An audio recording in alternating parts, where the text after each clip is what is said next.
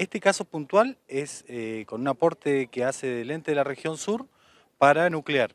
Eh, Laguna Blanca, Mencué, Pilahue, que es un paraje, Cañadón chileno, eh, así que abarca acá en Laguna 56 viviendas, 110 personas, cuatro instituciones y la verdad que escuchar hoy uno de los chicos que no, sabía qué, estudiar o por ahí los recursos no alcanzan para irse a alguna ciudad con, todo el problema económico que tenemos en todo el país y poder este, estudiar una carrera a distancia en este lugar, eh, permitir que, o sea, que no haya desarraigo en los lugares, así que es, es una inmensa alegría.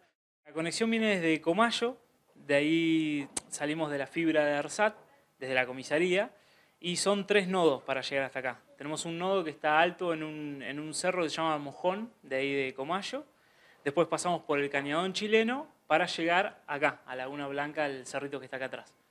Eh, y bueno, de ahí bajamos acá a, la, comisión de fomento con, esta torre y desde acá le vamos a repartir al resto de la gente.